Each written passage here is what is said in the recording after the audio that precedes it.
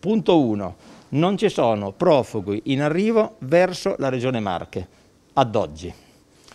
Chi sta rientrando entrando in Italia sono circa 2000 persone attraverso il Veneto e attraverso il Friuli Venezia Giulia, lo fa con mezzi propri, sapendo già dove dover arrivare, cioè magari hanno già qui parenti, famiglie, persone che conoscono, vengono già di loro iniziativa.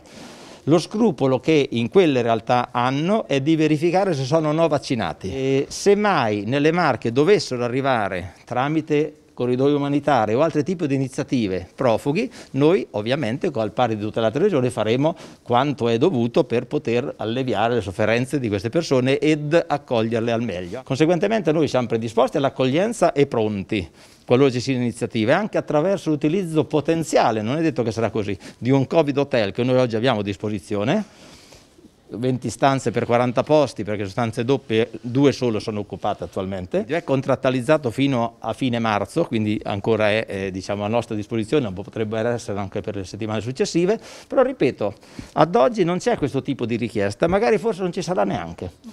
E per quel che riguarda, voglio fare un, un richiamo a questo, tutte queste iniziative di singole associazioni, singoli cittadini, del tutto meritevoli, cercano cibo, eh, indumenti, altri tipi di... Oggi non c'è, per quel che riguarda le marche, ma un po' in tutta Italia, una richiesta di questo genere. A meno che queste associazioni o anche questi privati non abbiano un rapporto diretto, può succedere a volte con un'associazione di quei territori o con famiglie di quei territori, dove loro sanno già dove poter inviare questi materiali, altrimenti spesso che succede? Che raccolgono, poi chiamano i sindaci dicendo noi abbiamo raccolto queste cose, dove le possiamo inviare? I sindaci chiamano la protezione civile regionale, la protezione civile regionale dice mettetelo in un magazzino perché in questo momento non c'è un canale diciamo così, di invio di alcun materiale verso quelle zone. Magari ci sarà domani, ma ad oggi ancora è così.